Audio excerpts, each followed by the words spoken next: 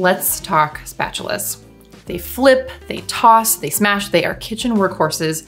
No wonder our community asked us to review the best of the best, and we happily obliged. Welcome to Food 52 Approved Spatulas Edition.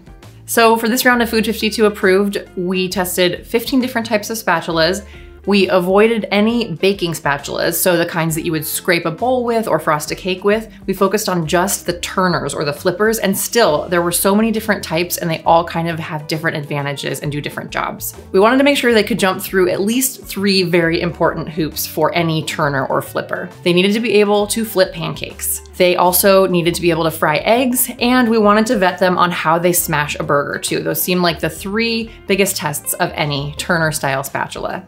And here were the results.